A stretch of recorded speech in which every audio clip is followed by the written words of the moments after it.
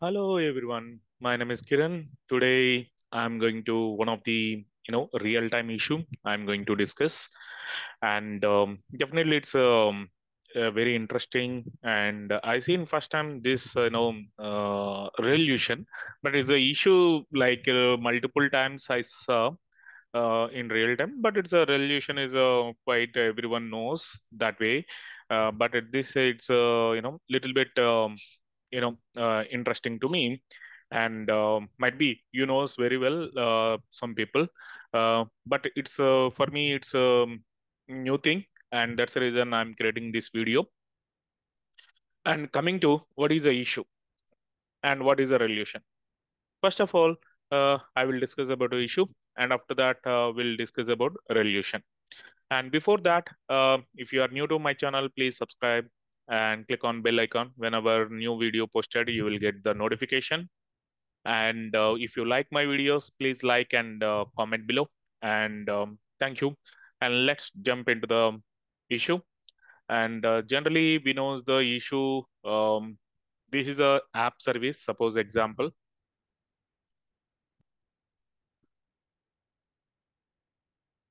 One of my app service this is a one. Okay guys and um, and coming to this is my database. Db sql db both are uh, services. Okay. But organization to organization their architecture and everything it will differ.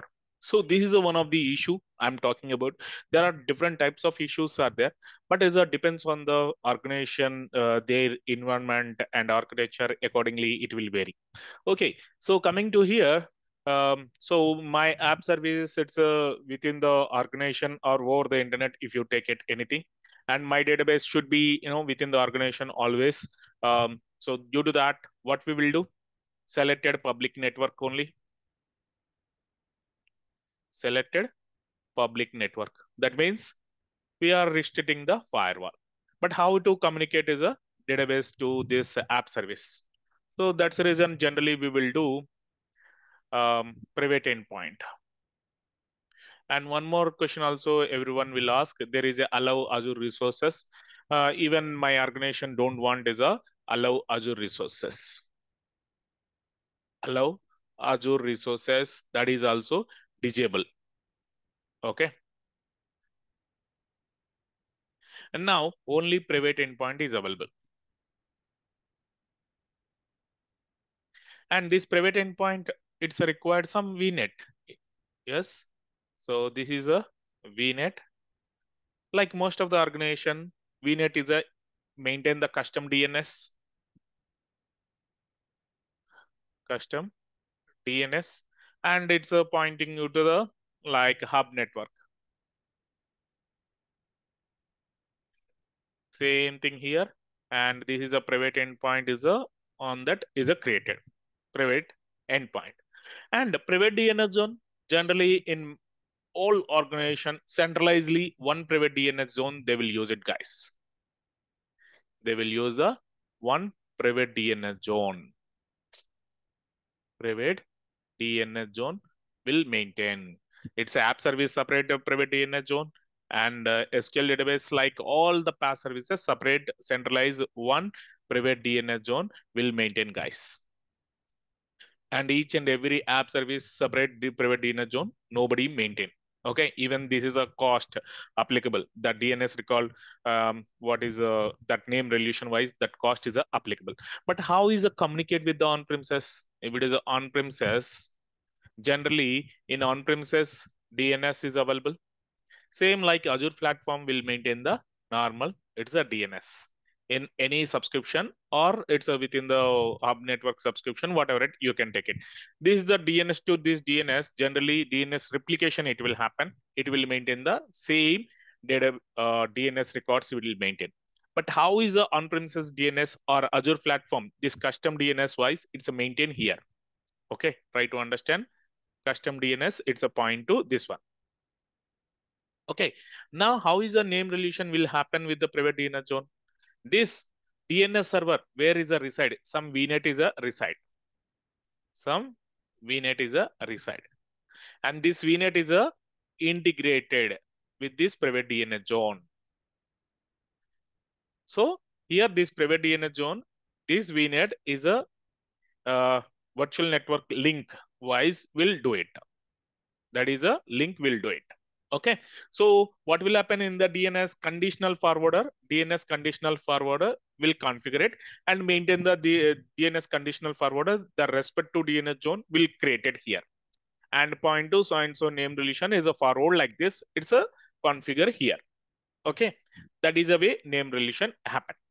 Now, question is, my app service is available and now my VNet. I deploy one VNet and there is already, you know, multiple app services,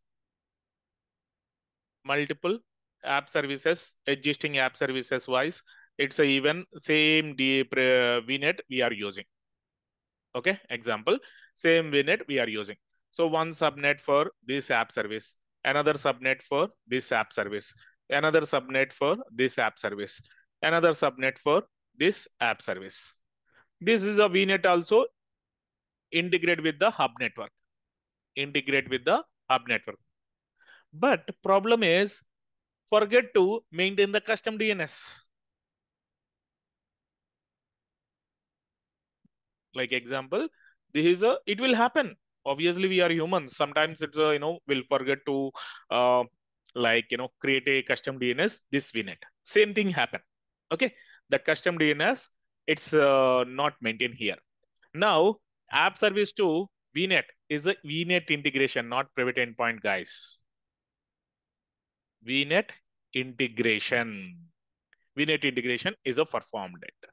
Now, this is a SQL database is a private endpoint, and this app service is a in this uh, custom DN, um, like, you know, there is no custom DNS under VNet is a VNet integration happen.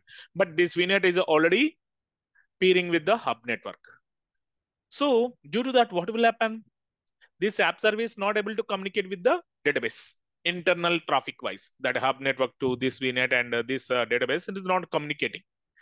What we taught is uh, everything is uh, within the organization network. It should be communicated but unfortunately this is not communicating with the database. What is the resolution for this? Do you think about what is the resolution for this guys? Stop the video and you can think about that name resolution how it works and what changes needs to be done.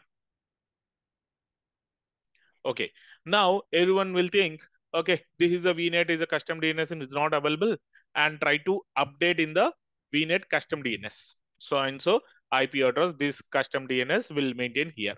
So hmm. we'll thought is a, this is a integrated custom DNS wise like this.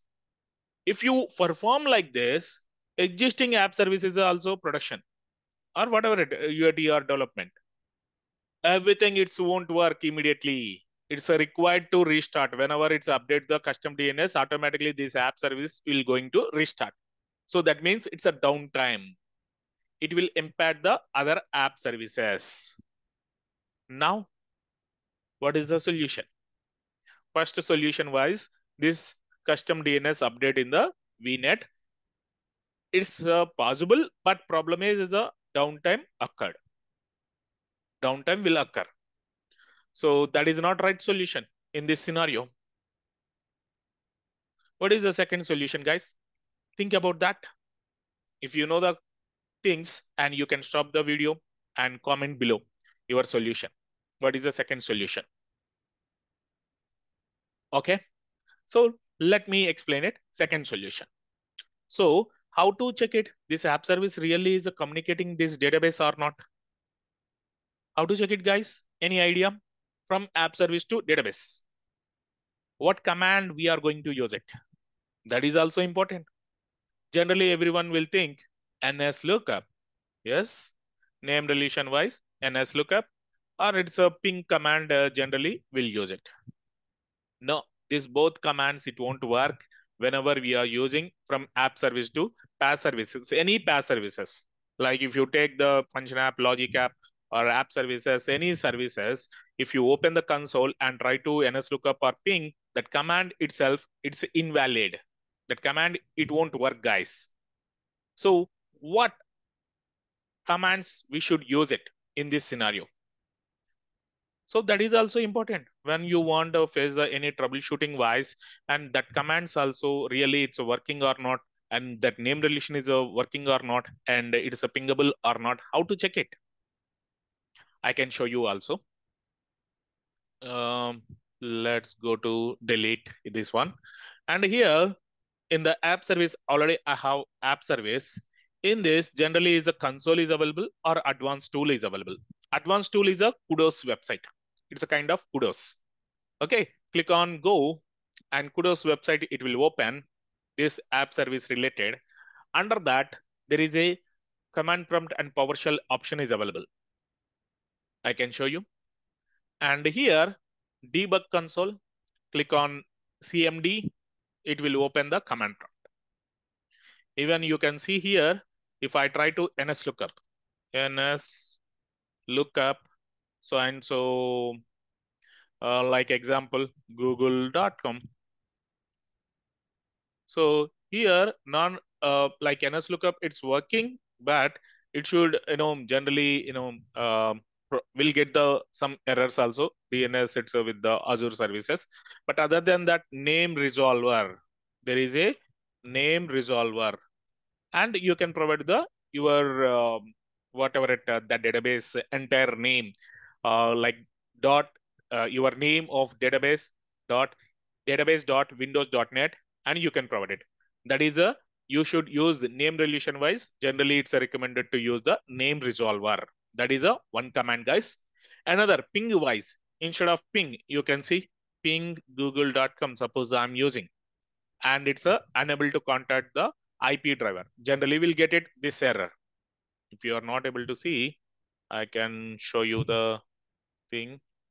Here you can see unable to contact to the IP drivers if you try to use the TCP ping, this is the actual command and google.com suppose is a semicolon 443. Example wise, I'm showing guys.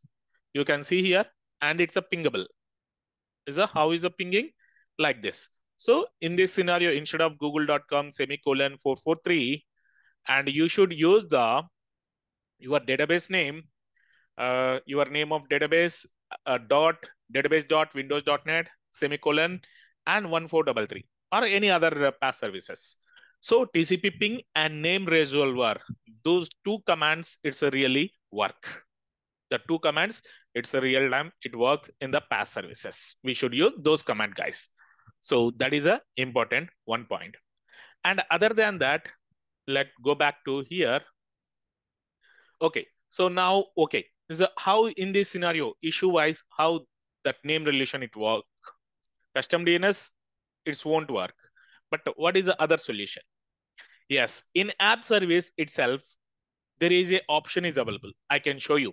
The documentation also I can show you. So what exactly environment variable? So I'm go back to app service.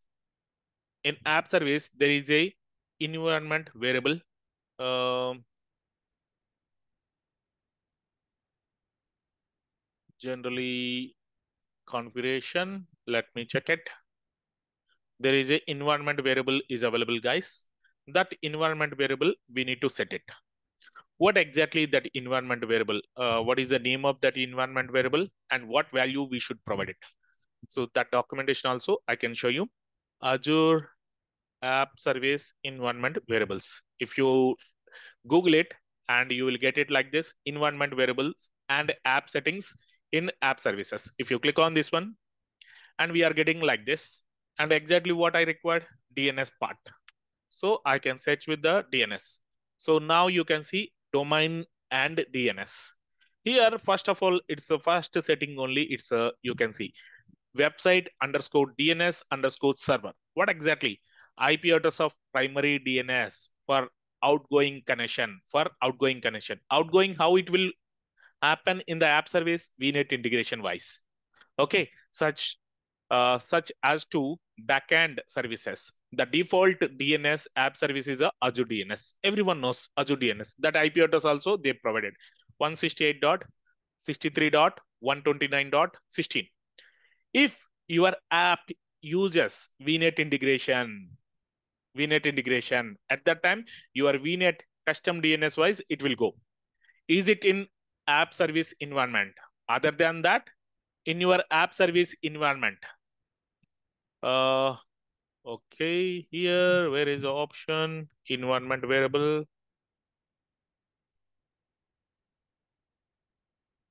Okay, so general app settings. This is a connection string.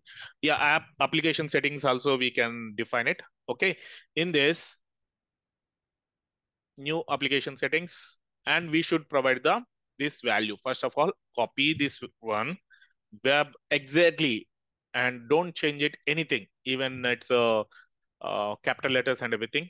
That values we should provide the uh, like our custom DNS IP address. If you have three, yes, comma. Uh, suppose example 23, like example wise, guys, I'm providing here uh, 10.35.62.2 question mark again 10.35.62. something 5 comma like that you can provide the your custom DNS related IP addresses. After that, you can try to check it again that name resolver and TCP ping, it should be work. It should be work. That is the solution, guys. Second solution, this is the one. So one solution for in VNet, where you did the VNet integration, that custom DNS is not updated, you should update it. If there is no impact, okay, well and good. Otherwise, it will impact other services means we should go with an app services. This app settings or environment variables, we should update it with this value and name. Name and value pair, we should provide it like this so that that issue will resolve it, guys. That's it from this video. If you like this video, please subscribe and uh, click on like button and the bell icon. If you new notification, you will get it immediately. Thank you, guys.